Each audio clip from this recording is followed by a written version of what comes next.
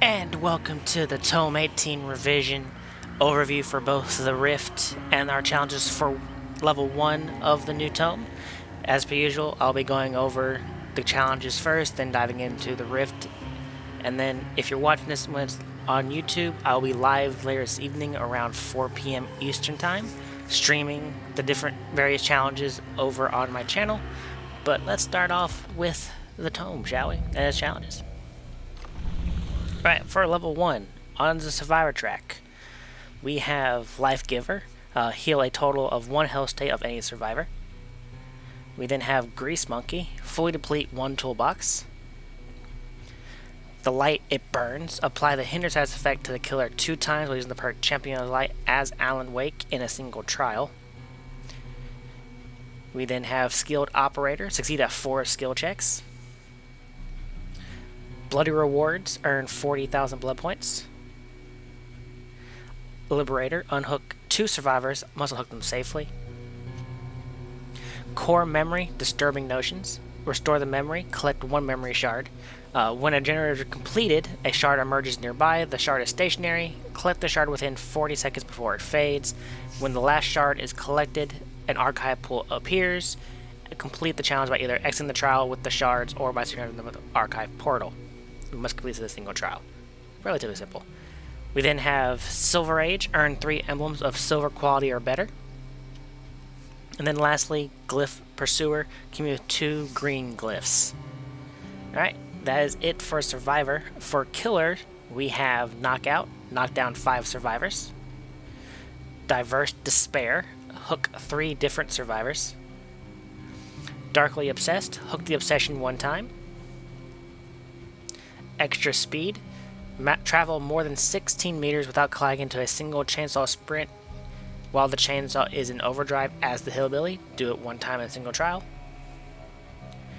Tag Tag 'em and bag 'em.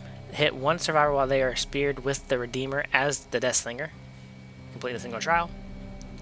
Unleash the Rage. Break eight walls, pallets, or generators. We then have Caleb's Retribution. Inflict the Oblivious status effect for a total of 30 seconds while using the perk Hex Retribution as the Death Slinger, completing a single trial. Speedy Breaks. Destroy a breakable wall after a chainsaw sprint while undetectable with the chainsaw one time as the Hillbilly. And then lastly, Caleb's Wrath. Have the entity block two generators while using the perk Dead Man Switch as the Death Slinger, completing single trial. Alright, so that is it for our week one challenges. You'll notice that simple challenges now provide five fragments toward a level in the tome, in the rift, as then the master challenges apply eight, as a change they announced yesterday during the live stream, as well as for level one completion rewards. It does not appear there's a charm anymore, but instead a carrot survivor and killer badge, and then as per usual the 10 fragments, so then 10, 15, 20 and 25, I believe. Alright, for our Rift, as per usual, the, uh, the premium reward track is only 1,000 cells. If you complete a track, you will have access to the next one as is. Ahead and pop that off. You'll get the imposter genes immediately, as well as 100,000 blood points. And then at level 4, you'll get the tree symbol, for anyone who wants some more icons on the badge. Cells across the way. New stuff for Felix. Gives him a bright red jacket.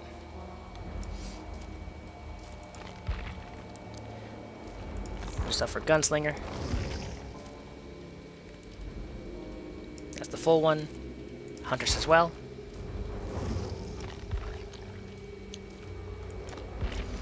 Level 28 a new profile banner.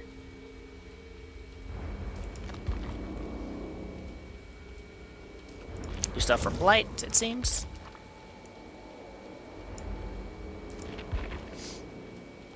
Then at 42, another badge with a typewriter at 54 for uh, Alan's typewriter. Up, oh, here's Clown. This was slightly horrifying.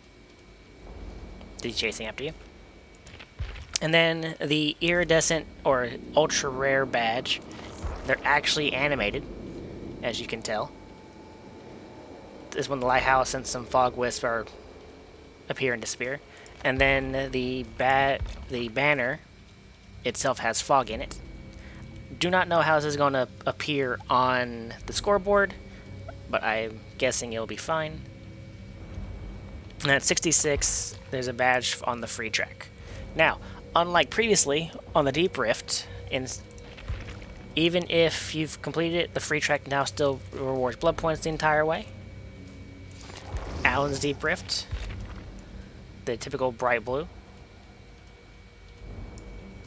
We then have the Hillbillies Deep Rift for the Fallen Hero. Or Twisted Hero, excuse me. We have Felix's Deep Rift, which is pretty good. Deathslingers.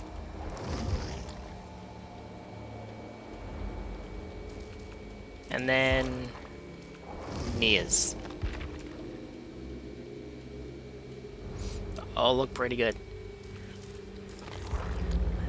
But that is this tome and rift for the first level. I will be back in let me verify that I don't give you guys the wrong date in two weeks with level two. But again, hope you have a wonderful day. I'll be live this evening around 4 p.m. Eastern going through the track myself if you would like to come by and check it out. And don't forget, Twitch drops aren't able on my channel, so you can get the new cosmetic skins and future skins when they do more drops in the future. Hope y'all have a wonderful evening, and I will see you in the next video. Goodbye.